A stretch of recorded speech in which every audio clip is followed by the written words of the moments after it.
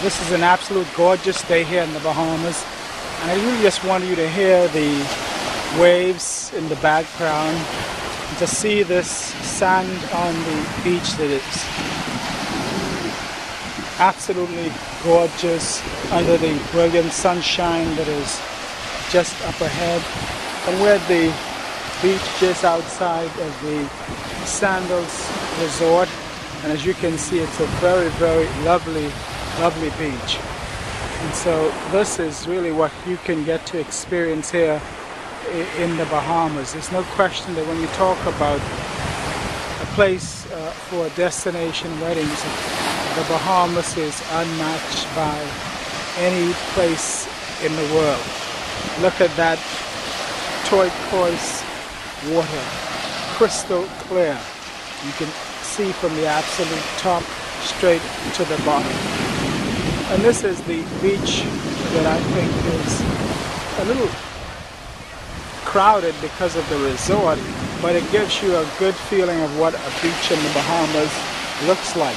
Uh, you would recall I've taken you out to Nuptial Beach, which is a more secluded beach, and that beach certainly gives you the opportunity to enjoy uh, your wedding and the friends and family you would have brought with you in a very private and secluded setting. But this is the absolute feel of the beach just outside the Sun Resort. You can see the persons going by on the sunfish there.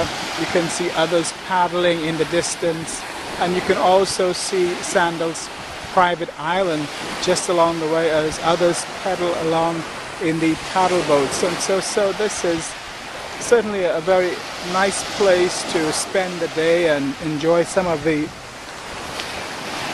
water sporting activities that are available at, at this resort and in here and here in in the Bahamas. So I hope you enjoy this uh, video which kind of give you a feel of, of the beach, kind of give you a feel of what it's like to be here in the Bahamas because there's really no place like the Bahamas. I indicated you before the Bahamas get some 315 days of, of sunshine. So this is kind of what you can expect despite what you hear about the weather in the Caribbean during the hurricane months. Unless there's a hurricane that's threatening, this is absolutely the kind of weather that you can expect. Now I must caution that May to June is usually the rainiest of the season and so certainly you have to bear that in mind but this is just an absolute gorgeous experience here in the Bahamas today.